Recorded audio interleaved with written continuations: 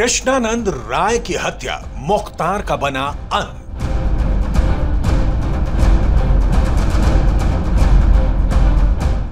लगभग 61 साल का बाहुबली माफिया मुख्तार अंसारी मर चुका है। मुख्तार के अंत के साथ ही उसके गुनाहों की लंबी चौड़ी केसों की लिस्ट में अब एक ऐसा भी केस है जो हकीकत में मुख्तार के अंत की सबसे बड़ी वजह माना जा रहा है। मुख्तार से जुड़ा यह केस था बीजेपी विधायक कृष्णानंद राय का हत्याकांड। साल 2005 एके 47 और 400 राउंड फायरिंग लगातार। 26 साल तक पूर्वांचल में गदर मचाने वाले मुख्तार अंसारी पर वैसे तो इकसठ से ज़्यादा आपराधिक मामले थे, लेकिन साल 2005 में जिस तरह से बीजेपी विधायक कृष्णानंद राय की हत्या हुई, उसने पूरे उत्तर प्रदेश को हिलाकर रख दिया। कृष्णानंद राय की हत्या इतने खौफनाक तरीके से हुई थी कि उसके बाद से लोग माफिया मुख्तार के नाम से ही कांपने लगे थे।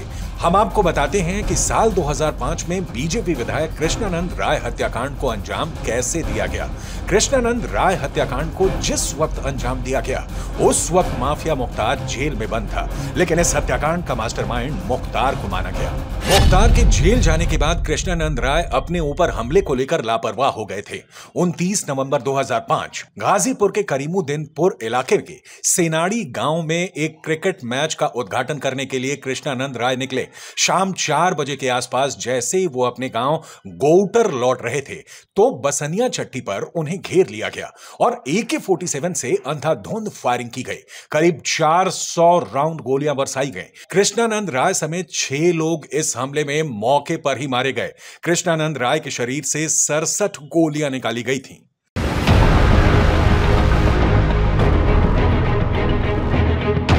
कृष्णानंद राय की हत्या सामान्य हत्या नहीं थी। कहा जाता है कि हमलावरों में से एक हनुमान पांडे ने कृष्णानंद राय की चुटिया काट ली थी। बाद में उसी दौरान का एक ऑडियो सामने आया, जिसमें मुख्तार जेल से ही माफिया से बात कर रहे हैं और बता रहे हैं कि चुटिया काट ले हैं। न्यूज़ 18 इंडिया इस ऑडियो की पुष्टि नहीं करता, लेकिन इस ऑडियो से पता चलता है कि माफिया मुख्तार कृष्णानंद राय की हत्या के बाद कितना खुश था। इस ऑडियो में मुख्तार और अभय सिंह के बीच बातचीत हो रही है, ऐसा दावा किया गया है। बराबर गोली चल रही है? हाँ। ये तरफा? जय श्री राम। अच्छा हेलो। हाँ हाँ। हाँ, काट ली ठीक है। मुट्ठी में। ठीक है ठीक है रंगा के बाद बात होगी 29 नवंबर 2005 को बीजेपी विधायक कृष्णानंद राय हत्याकांड में मुख्तार अंसारी और अफजाल अंसारी को आरोपी बनाया गया था।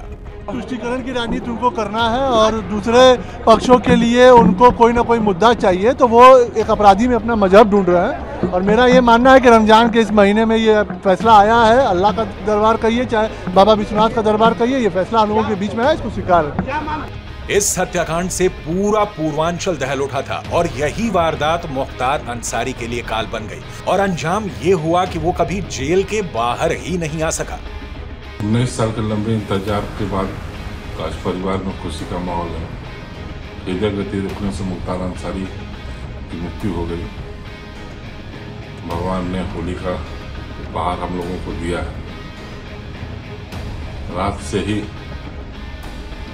लोगों की बधाइयों का तांता लगा हुआ है। कृष्णानंद राय की हत्या के 19 साल बाद लगभग 61 साल का माफिया मुख्तार अंसारी मर चुका है। बांदा में हार्ट अटैक के बाद हुई मौत पर भले लाख सवाल उठेंगे, लेकिन जो लोग माफिया मुख्तार के कोहराम का शिकार हुए थे, उनके लिए मुख्तार की मौत होली और दीपावली बनकर आई है। मुख्तार अंसारी की मौत की खबर मिलने के बाद कृष्णानंद राय की पत्नी ने बाबा विश्वनाथ के दर्शन किए और कहा कि आज उनके लिए होली का त्योहार है। बाबा के आशीर्वाद है। जय आज मैं हमेशा बाबा के दरबार में न्याय के लिए करती थी। आज न्याय मिला है हमको। देखिए होली के त्यौहार हम लोग इस घटना के बाद नहीं मना पाते थे। आज हमको लगा कि नहीं, हमारे लिए आज का दिन होली का ही दिन है। कृष्णानंद राय की हत्या के बाद मुख्तार अंसारी दुनिया का बेताज बादशाह बन चुका था। 26 साल तक मुख्तार अंसारी ने पूर्वांचल में जमकर गदर मचाया। पाँच बार विधायक बना। पैंसठ से ज़्यादा आपराधिक मामले दर्ज हुए। जेल के अंदर रहते हुए भी जमकर पैसा कमाया और रुतबा बढ़ाया। मुख्तार अंसारी का नेटवर्क जेल में रहकर भी ठीक उसी प्रकार से चलता था, जैसे जेल से बाहर रहकर। यही कारण है कि साल 2005 से जेल के अंदर रहने के बावजूद मुख्तार के खिलाफ हत्या तथा अन्य गंभीर धाराओं के तहत अनेक मुकदमे दर्ज हुए। जाँच एजेंसियों का मानना था कि मुख्तार जेल में रहते हुए भी अपने शूटरों और खास आदमियों के माध्यम से इन वारदातों को अंजाम दिला रहा है।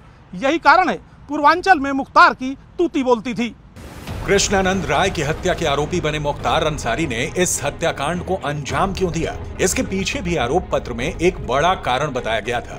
दरअसल मोहम्मदाबाद सीट से लगातार अफजाल अंसारी चुनाव जीतते आ रहे थे और इस बार उन्हें कृष्णानंद राय ने चुनावी शिकस्त दी थी और हार का ये सदमा मुख्तार और अफजाल अंसारी बर्दाश्त नहीं कर पा रहे थे।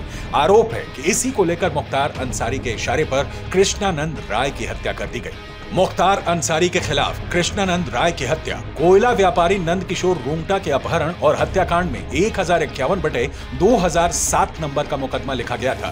गाजीपुर के एमपी एमएलए कोर्ट ने इस मामले में मुख्तार अंसारी को 10 साल की सजा सुनाई थी और पाँच लाख रुपए का जुर्माना भी लगाया था। मुख्तार अंसारी कानून के ऐसे चक्रव्यूह में फंसा कि यूपी से लेकर पंजाब तक उसने जेल बदले और कई पैतरे आजमाए, लेकिन तमाम पैतरों के बावजूद उसे सलाखों की कैद से आज़ादी नहीं मिल सकी।